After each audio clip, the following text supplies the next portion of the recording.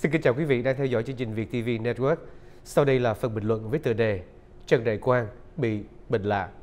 Bài viết do người buôn gió biên soạn quan chương trình bày. Kính thưa quý vị, kể từ năm ngoái thì Nguyễn Phú Trọng trên vai trò Chủ tịch Quân ủy Trung ương đã tiến hành thâu tóm Tổng cục 2 tình báo quân đội để có thể tăng thêm sức mạnh cho mình. Trọng đã sử dụng Tổng cục 2 của quân đội để tấn công trực tiếp vào những sân sau của Tổng cục 5 tình báo công an và tung ra những tài liệu tối mật về nhân sự của Tổng cục 5 lên mạng xã hội. Hành động này của Trọng đã ép Chủ tịch nước Trần Đại Quang, vốn nguyên là Bộ trưởng Công an khóa trước phải đi chầu kiến Trung Cộng. Phe cánh của Trọng có hai trợ thủ đắc lực đó là Nguyễn Xuân Phúc và Trương Hòa Bình. Trần Quốc Vượng là những nhân vật muốn thiết lập Việt Nam thành một nhà tù khổng lồ, nơi quyền lực của chế độ Cộng sản là tuyệt đối. Trấn áp dân chủ triệt để dưới cái tên mỹ miều gọi là tăng cường quyền lãnh đạo của đảng Cộng sản ở thời kỳ mới. Mới chỉ một năm mà phe nhóm này cầm quyền, số người bất đồng chính kiến bị bắt giữ gấp mấy lần cả nhiệm kỳ trước. Và để làm được điều này thì phe của Trọng cần dựa vào sự yểm trợ của Trung Cộng và sự đồng tình của một số lãnh đạo cao cấp. Và chính vì thế, Trọng đã làm ngơ trước những diễn biến ngoài khơi của Trung Cộng gần đây, kể cả tính mạng của người dân ở khu vực bãi Tư Chính. Trần Đại Quang là một trong những lãnh đạo có thái độ đối với lại Trung Quốc chưa rõ ràng. Chưa rõ ràng ở đây là quan điểm của Trung Cộng và của phe Nguyễn Phú Trọng. Có nghĩa là ông Quang chưa bày tỏ thái độ quan điểm thuần phục Trung Cộng hoàn toàn như là phe Nguyễn Phú Trọng. Hãy cứ bỏ qua một bên về đánh giá tích cực là trong Đảng Cộng sản Việt Nam có người không thích Trung Cộng như là Nguyễn Tấn Dũng, Đinh La Thăng, Trần Đại Quang. Cứ theo đánh giá của những kẻ thuộc phe Nguyễn Phú Trọng cho rằng những người này chỉ giả vờ lấy lòng dân hoặc là theo đánh giá của những người chống Cộng sản thì đó chỉ là chiến lược của Cộng sản bớt lại vài người để đu dây với phương Tây hay là Hoa Kỳ. Vậy thì bây giờ, ảnh hưởng thuần phục Trung Cộng của Việt Nam đã lớn đến mức không ai dám giả vờ, không ai dám đóng giả ghét Trung Cộng để đu dây với lại phương Tây nữa.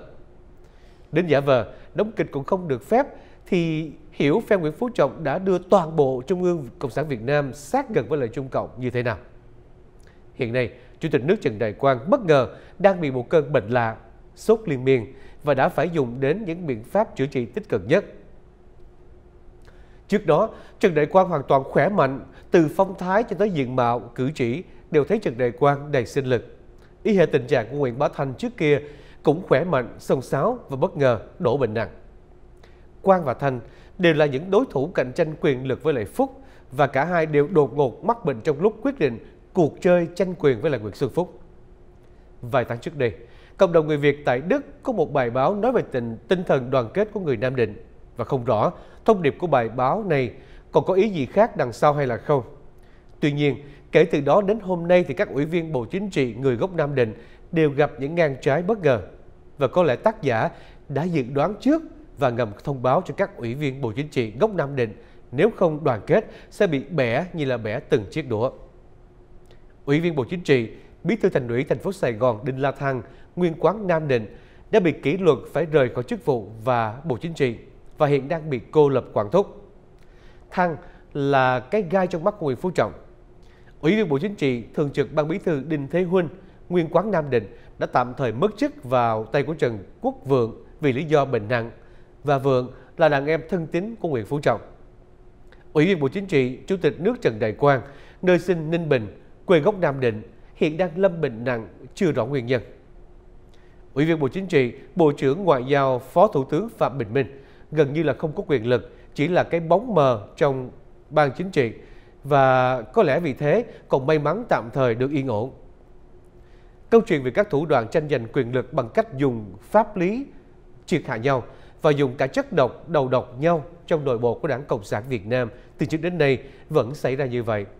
Chúc uy tín của Trần Đại Quang ngày một cao bởi tác phong đỉnh đạt, ăn nói điềm tĩnh và chắc chắn ngày càng trở thành một chỗ dựa đáng tin cậy trung ương, làm hình ảnh tương phản sự ăn nói hồ đồ, lộn ngôn của Nguyễn Phú Trọng và Nguyễn Xuân Phúc.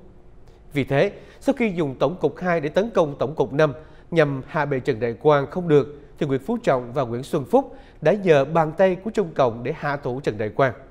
Và trong chuyến ông Quang đi thăm Trung Cộng, Cũng như trước đây, Trọng đã đồng ý với Lệ Phúc để Trung Cộng hạ thủ Nguyễn Bá Thanh, mặc dù Thanh là chỗ tin cậy của Trọng trong việc đánh Vinasin. Nhưng Bá Thanh có quá nhiều cá tính mạnh, là một trong cá tính đó là muốn thay đổi dân chủ và những phát ngôn coi thường Trung Cộng. Nguyễn Bá Thanh sau thời gian đi Trung Cộng về cũng lâm tình trạng như là Trần Đại Quang ngày hôm nay. Chưa loại trừ khả năng Đinh Tới Huynh cũng bị tương tự vì ông Huynh cũng đi Trung Cộng hồi năm ngoái. Hiện nay thì Trần Đại Quang đang chữa trị tích cực ở nước ngoài và tình trạng sức khỏe đã ở mức nguy kịch. Không biết các bác sĩ có chữa trị được cho ông ta qua cơn nguy kịch này hay là không. Nếu ông ta không qua được thì đây quả là một điều đáng tiếc. Không phải đáng tiếc của đấu tranh dân chủ mà đáng tiếc là sự cân bằng, là sự đa dạng đấu đá trong nội bộ Cộng sản hiện tại đã bị triệt tiêu hoàn toàn. Cuối cùng thì có lẽ nên giải tán Ủy ban chăm sóc sức khỏe Trung ương của Đảng Cộng sản Việt Nam. Trong khi dân chúng thiếu thốn bệnh viện thì các bệnh nhân nằm chung một giường chờ đợi thiết bị y tế, thì cái ban này được trang bị ngân sách khổng lồ để chăm sóc và phát hiện sớm bệnh tình của các quan chức lãnh đạo. Trách nhiệm ban này còn là kiểm tra sức khỏe cho các ủy viên trung ương trước khi bầu bán ở đại hội. Nếu không đủ sức khỏe để đảm nhận trách nhiệm, chọn nhiệm kỳ sẽ bị gạt bỏ. Vậy mà mới hơn một năm của nhiệm kỳ đại hội 12, có đến ba ủy viên Bộ Chính trị có vấn đề nghiêm trọng về sức khỏe như là Võ Văn Thưởng, Đinh Thế Huynh, Trần Đại Quang. Chưa kể đến cấp ủy viên trung ương. Như thế, đại hội 12 là một đại hội biệt bợm, không minh bạch bởi vì những người có bị bệnh trầm kha lại có thể qua được vòng kiểm tra, đánh giá của Ủy ban chăm sóc sức khỏe trung ương.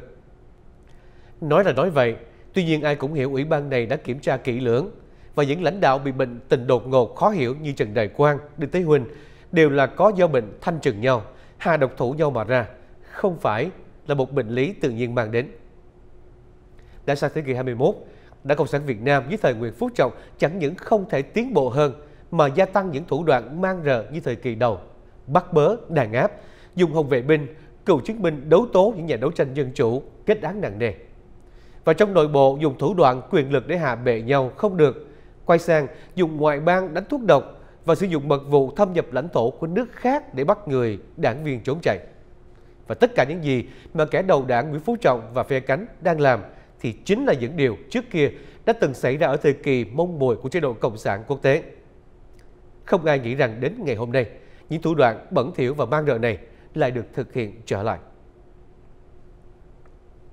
Thưa quý vị, vừa rồi là phần bình luận với tựa đề Trần Đại Quang bị bệnh lạ.